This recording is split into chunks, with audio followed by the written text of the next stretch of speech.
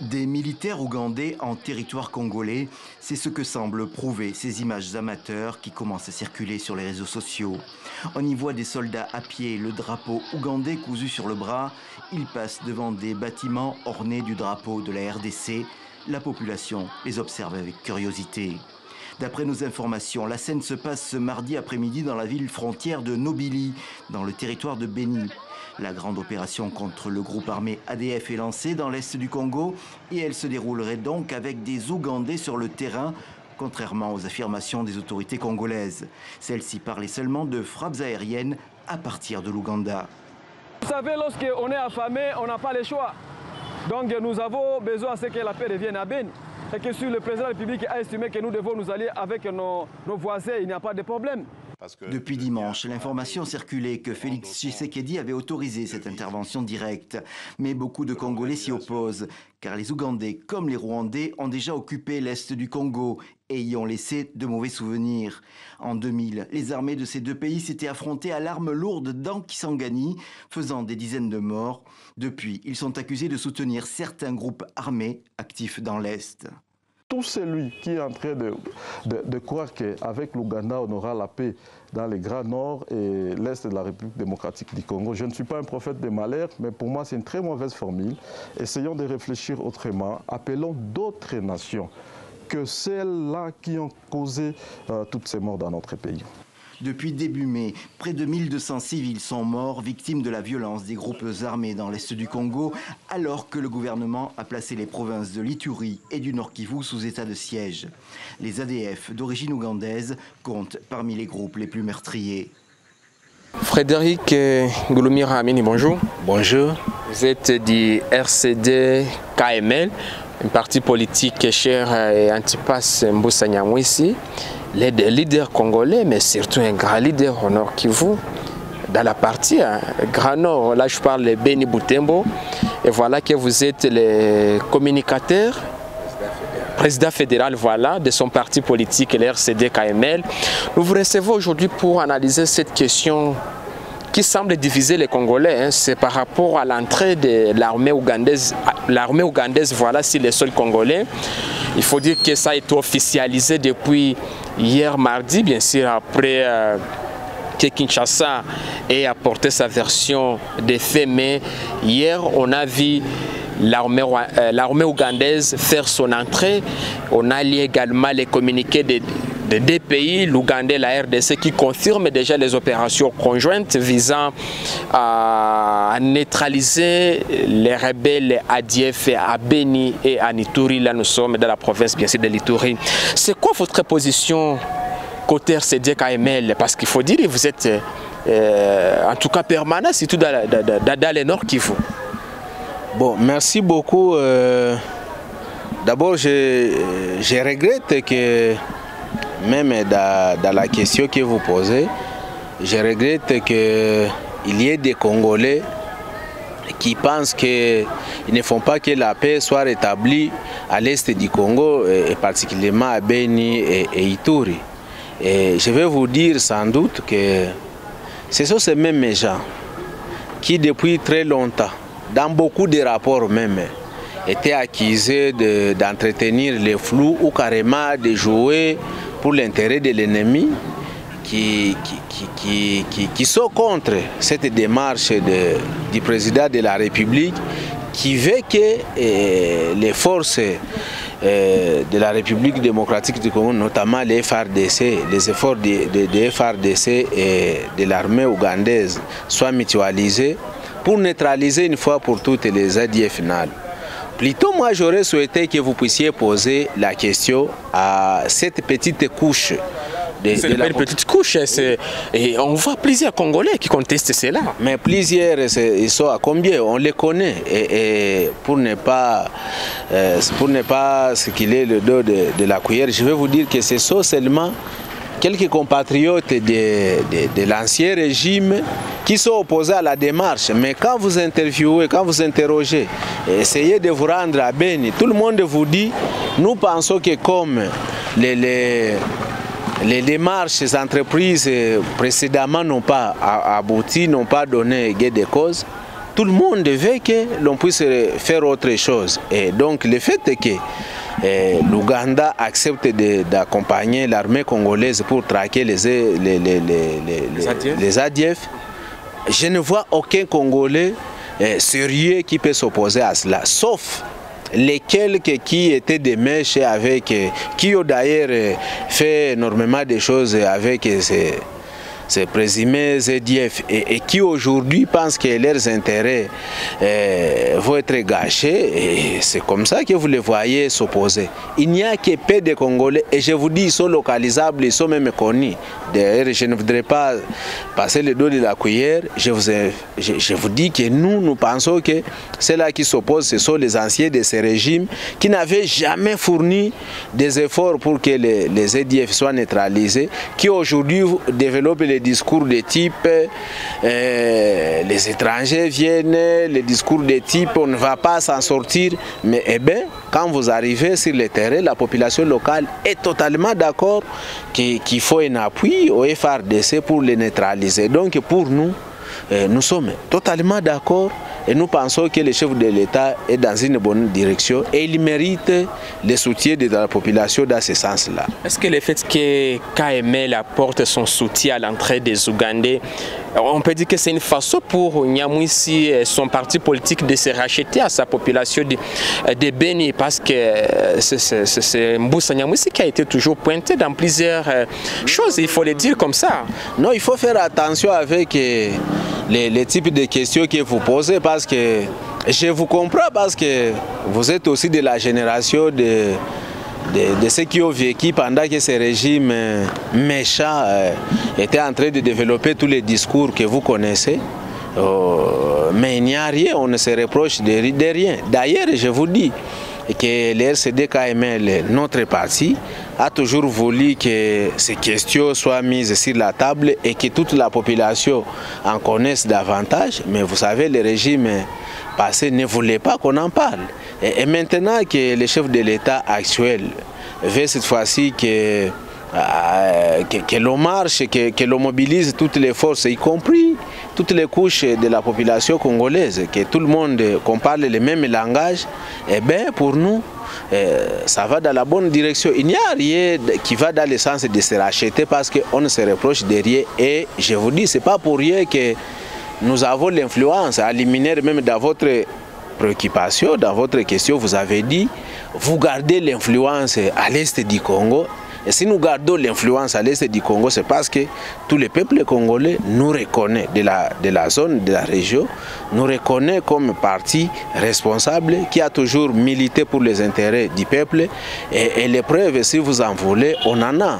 Donc nous avons euh, de bonnes raisons, pour nous, on reste convaincus, on reste constant, nous avons les bonnes raisons de penser que il faut toujours encourager toutes les démarches qui vont dans la direction, qui vont dans le sens de, de, recouvrer la paix à l'est du Congo, que ce soit au nord Kivu, au sud Kivu, partout où il y a des, des petits soucis sécuritaires, où il y a des- des soucis sécuritaires, que, la paix revienne. Donc pour le SDKML, on n'hésitera pas de, s'y pencher. Alors, les les contestations de certains Congolais sont justifiées le fait que euh, l'Ouganda selon eux, serait aujourd'hui un pays euh, considéré comme euh, un état de triste mémoire parce que ces Congolais se rappellent ce qui s'est passé à Kisangani avec les affrontements qui ont eu lieu entre l'Ouganda et le Rwanda si les seuls Congolais. Il faut préciser que plusieurs Congolais ont été euh, tués quant à ça. Mais et vous, du coup, vous soutenez cela juste après, bien sûr, leur euh,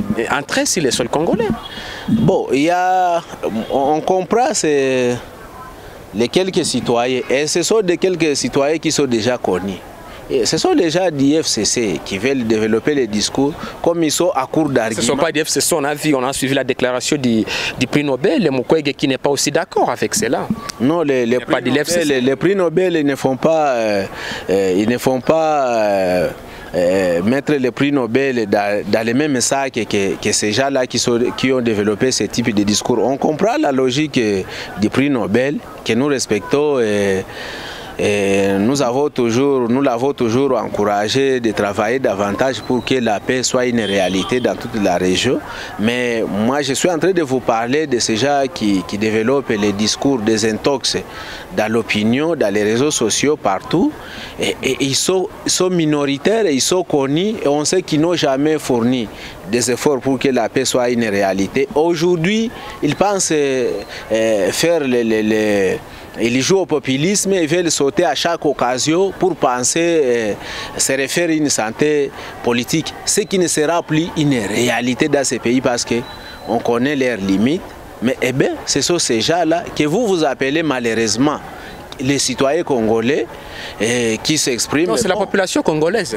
ah bon, vous les appelez comme ça, et on, on les concède, on vous les concède, mais moi je vais vous dire que ce sont des personnes mal intentionnées qui n'ont jamais voulu que la paix soit une réalité à l'est du Congo et d'ailleurs qui sont suspectés dans beaucoup de rapports, ils sont cités, que ce soit même les Vous parlez de qui, par exemple? On ne va pas citer les noms pour ne pas même vous exposer, on ne veut pas que les journalistes on commence à vous dire que vous avez cité les noms, mais C'est c'est hein. ce sont Vous ces avez gens- aidé quand le chef de l'État cita certains ce sont- noms. Ce sont ces gens qui sont connus. Il a tous les rapports sur sa table. Il connaît ces gens. Ils n'ont jamais fourni les efforts. Ils ont collaboré avec, euh, pendant longtemps avec les groupes armés. Ils ont fait en sorte que la réalité les- les- les- ne soit pas connue. Ils ont fait en sorte que la paix ne soit pas une réalité. Aujourd'hui, lorsqu'ils appellent les citoyens congolais, eh bien, on les concède à, à- à ces amis-là. Mais je dois vous dire que eh, euh, les Congolais sérieux, y compris vous, tout le monde veut que la paix soit une réalité. À moins que vous me disiez que euh, vous êtes convaincu aussi avec cette catégorie de la population qui veut que la paix ne revienne pas dans la région. On est devant une réalité. La réalité est que plus de 5 ans, on a fait des guerres pour combattre les EDF, nous n'avons pas abouti aux résultats escomptés.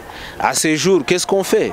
On doit changer les méthodes, on doit changer les techniques, les stratégies, on doit faire autre chose. Et, et les chefs de l'État pensent qu'il faut collaborer avec euh, certains partenaires, y compris un pays voisin qui se fait disponible. Et puis ce que vous ne savez pas, ces pays-là, il a presque les mêmes difficultés aussi. euh, il partage certaines difficultés avec nous parce que les, les, EDF commencent à attaquer aussi l'Ouganda. Et également, le- l'aspect que vous ne voulez pas évoquer, je ne sais pas pour- pourquoi, c'est que les, députés du Nord Kivu et de l'Ituri, ils ont été en entretien avec les chefs de l'État. Ils ont demandé, ils ont donné leur point de vue par rapport à l'arrivée des Ougandais pour euh, faire la lutte aux côtés des FRDC en fait de neutraliser les EDF. Et, tous les députés qui étaient là, ils étaient totalement d'accord que euh, cette voie-là, ces pistes-là de solutions soient exploitées pour voir qu'est-ce que ça va donner. Il n'y a pas que eux, il y a eu les notables aussi du Nord Kivu qui ont parlé avec les chefs de l'État, qui ont réitéré les mêmes vœux, le même souhait. Et à ce jour, je ne sais pas pourquoi vous ne voulez pas le- dire, mais les premières impressions sont bonnes. On veut que l'on puisse bombarder ces gens, on veut qu'on puisse les capturer que finalement on puisse décapiter euh, ces terroristes et que la paix soit une réalité. Donc, la question moi, que, je, voudrais, à, votre tour, que vous puissiez poser à ces amis-là, c'est de leur demander pourquoi et ils se sont toujours opposés à toute euh, solution de nature à ramener la paix à l'est du Congo. Donc c'est à eux de répondre à cette question. Donc, si je comprends bien, le RCD KML de Mboussa apporte son soutien à l'entrée des Ougandais sur les sols congolais. Ah, ah bon, moi je dois vous dire très clairement que pour nous, pour nous comme parti, je ne veux pas même qu'on puisse balbutier autour de, de- cette préoccupation. Je voudrais vous dire que pour nous comme parti RCD-KML, nous pensons que la paix doit être une réalité. Nous pensons Vous que soutenez cette mesure, cette décision. elle n'est pas mauvaise, elle est bonne. Vous soutenez. Elle est bonne, nous soutenons. Pourquoi ne pas soutenir alors que les députés. Lorsque vous voulez délier cette réalité, euh, d'abord des, travaux faits par les, représentants du peuple, notamment les députés nationaux du Nord Kivu et de l'Ituri, qui se trouvent être dans, des provinces carrément touchées par euh, euh, les atrocités des EDF. Lorsque vous voulez isoler cet aspect-là, alors on, risque de- de douter. Mais au moins, ce que vous allez retenir, c'est que les députés du Nord Kivu et de la province de l'Ituri ont soutenu la démarche. Les leaders du Nord Kivu et de l'Ituri ont soutenu Certains, c'est pas je ne, connais les pas, je ne connais pas un seul qui n'a pas soutenu. Vous ne connaissez aucun nom, vous ne pouvez me citer aucun nom d'un leader du Nord Kivu et de l'Ituri qui n'ont pas Il soutenu. y a certains députés nationaux qui ne sont sont pas d'accord. députés? comme on a suivi sur France 24 le député Mounoubo qui n'est pas d'accord et pourtant il est dans la commission à, à sécurité au niveau national, hein, défense et sécurité. Non, moi je vais vous dire que les députés, c'est ce que je suis en train de réitérer, les 60 députés qui ont eu les échanges avec les chefs de l'État, ils étaient totalement d'accord dans le contexte de la démocratie. C'est une majorité écrasante et également les leaders de- du Nord Kivu et de l'Ituri, ils sont d'accord. La population est aussi d'accord. Et, ce qu'on pense, je, comprends les quelques certains je les ai déjà ciblés, qui vous parlent des procédures et tout, mais mon cher ami, les gens sont en train de mourir. Gens, c'est chaque jour qu'on égorge euh, les membres de leur famille. Et lorsqu'ils disent nous soutenons la démarche, c'est lui qui n'est pas dans cette logique-là. Pour moi, je pense que euh, il- a d'autres ambitions. Il joue l'intérêt. Carrément, moi, je n'hésite pas à penser qu'il joue l'intérêt de l'ennemi. Donc, euh, il faut exploiter. À moins que vous me disiez quelle autre piste que vous savez qui était en voie d'apporter les, les solutions à ces problèmes. Parce qu'on a égorgé les gens et quand on parle de cette question, je voudrais que le sérieux caractérise tous les Congolais. Ce sont les vies humaines qui sont en train de, euh, disparaître. Ce sont déjà qu'on égorge, on tue les mamans, on tue les enfants, on tue les- euh, tout le monde. Eh bien, lorsqu'on parle de cette question, c'est avec tous les sérieux qui peut nous caractériser. On doit faire en sorte qu'il y ait des solutions. Maintenant que tous ces gens-là, euh, qu'il faut des, des bruits, heureusement qu'ils ne sont pas nombreux. Mais ils ne proposent rien. Qu'est-ce qu'ils Alors, proposent Euh, parlons de cette prouesse. On, on voit, on les constate sur les réseaux sociaux. On ne sait pas si c'est vrai. Ces, avancées significatives euh, enregistrées juste à l'arrivée des, des Ougandais. On nous parle d'une centaine déjà de- des ADF capturés. Qu'est-ce qui explique euh, cette pression? Non, ce n'est pas à nous de donner les bilans.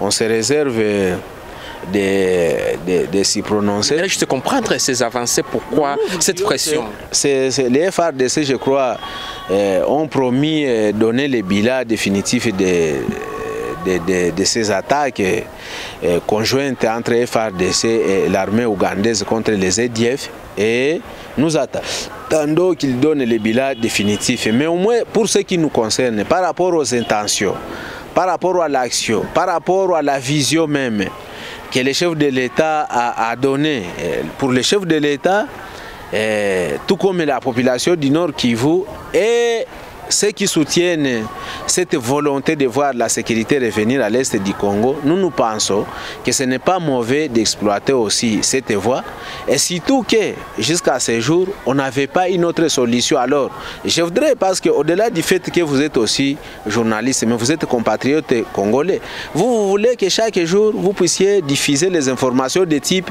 on a égorgé autant de, de personnes et qu'il n'y ait pas de solution. Lorsqu'il y a un, un- un pays ami, dans le cadre de nos relations bilatérales, qui accepte de- d'appuyer les FARDC dans les efforts que, que nous saluons, que nous soutenons, euh, de, de- neutraliser les, les EDF pour que finalement euh, la paix soit une réalité dans la région. Je ne pense pas que ça puisse vous gêner. Même du fait que vous soyez journaliste, mais vous êtes aussi euh, compatriote congolais. À moins que, donc c'est là, nous pensons que comme vous le constatez, c'est resté maintenant euh, une démarche pour les quelques Congolais qui n'ont jamais voulu que la paix soit une réalité à Beni, tout comme à Ituri, à Ituri, qui ont des intentions cachées. Alors, euh, parce que nous tendons vers la fin de euh, cet entretien, l'arrivée des Ougandais à Beni, donc au nord Kivu et à Nituri, les deux provinces sous un état de siège décrété par le président Tshisekedi. Est-ce que cette arrivée d'une force étrangère, ça explique que l'état de siège a échoué. Bon, moi je pense qu'on ne peut pas dire que l'état de siège a échoué totalement et que pour cela, il faudrait, euh, il faudrait qu'une force étrangère vienne. Plutôt, il faut reconnaître que l'état de siège, cette mesure, a produit certains euh, résultats positifs mais se trouve que ce n'était pas suffisamment satisfaisant de telle enseigne que la paix n'est pas revenue. Il faut à ces efforts-là, à cette volonté du chef de l'État, y adjoindre euh, d'autres réalités, d'autres dynamiques, notamment euh, maintenant cette conjugaison d'efforts entre l'armée ougandaise et, l'armée congolaise pour qu'on vienne à bout de, ces forces terroristes. Et je pense que c'est logique, c'est cohérent. On est dans une direction où de, de, les Congolais et, leurs chefs de l'État, ils veulent que cette fois-ci la, la, la, paix soit une réalité. Euh, dernière question, KML derrière la force, euh, euh, la force ougandaise, où serait Moussa ici aujourd'hui? Non, bon, le, le, le président, je, je, comprends à chaque fois que vous posez cette question, il me fait la joie du fait que chaque Congolais veut que chaque matin sache comment il s'est réveillé, où est-ce qu'il est. Mais je dois vous dire que, comme toujours, il est en train de travailler pour les questions essentielles de, de, de, notre pays. Et comme vous le savez... Travaille où Depuis où de, Depuis quel pays? Il a dit de, depuis 2019, quand il était de passage ici, que sa, sa, sa, ses nouvelles préoccupations, c'est la paix, la sécurité à l'est du Congo parce que... Ça on comprend. Les, les, mais, nos auditeurs veulent comprendre où serait Moussa. Il est au pays ou bien il est à l'étranger? Mais il est au pays. C'est-à-dire... Où précisément? Il est au pays, il est dans la capitale. Il n'est pas, il n'est pas. Côté du président Félix ou bien dans l'opposition, parce qu'il a été dans la Moka aussi. Hein. Ah non, nous soutenons les, les chefs de l'État. Ils ne font pas de l'amalgame la, de là-dessus. Nous soutenons les, les chefs de l'État. Nous soutenons l'union sacrée, et, et, nous avions dit que c'est pour des raisons. C'est pour la, la paix, et la sécurité dans, tout la, dans toute la République démocratique du Congo, dans tous les pays et particulièrement à l'est du Congo parce que c'est là où il y a assez de problèmes sécuritaires, mais aussi pour épauler les, ceux qui ont les responsabilités de résoudre ces questions des, des, des pandémies, épidémies qui sévissent dans, dans les pays. Donc, pour vous, vous soutenez pendant que vous êtes hors jeu, vous n'êtes pas ni au pouvoir. Non, ça ne s'appelle pas hors jeu, plutôt c'est ce qui démontre la bonne foi, le patriotisme qui a toujours caractérisé. Si vous n'êtes pas à la Euh, oui, c'est ce ça la différence entre les SDKML et les autres partis. Donc pour nous, même quand nous n'avons pas des postes de responsabilité comme vous essayez de l'insinuer, mais pour l'intérêt de la République, on s'y met, on, on, travaille, on met toute l'énergie. Contrairement à tout ce qui hésite à, à, encourager les FARDC et les chefs de l'État aux côtés de, cette force, de cette force ougandaise d'en découdre une fois pour toutes euh, contre les, les EDF. Contrairement à tous ces gens-là, nous nous assumons, nous encourageons les chefs de l'État à exploiter toutes les stratégies eh, possibles. Nous encourageons les, les, FRDC à, à, faire en sorte que la paix à l'est du Congo, parce qu'au fait, le développement ne peut pas être envisagé dans un contexte d'insécurité. Donc tant qu'il y a l'insécurité, il n'y aura pas de développement. Et, et nous voulons qu'on aille vers, là, vers cet aspect-là. Et c'est ce qui démontre clairement, comme vous le dites, que pour nous, la préoccupation n'est pas forcément d'abord les postes, avec, si on a les postes, tant mieux. Si on n'en a pas, cela ne nous empêche pas de donner nos points de vie, de travailler pour que eh, les Congolais, dans sa globalité, eh, retrouvent eh, sa paix, sa quiétude et son développement. Frédéric, je rappelle que vous êtes le président fédéral voilà. Merci.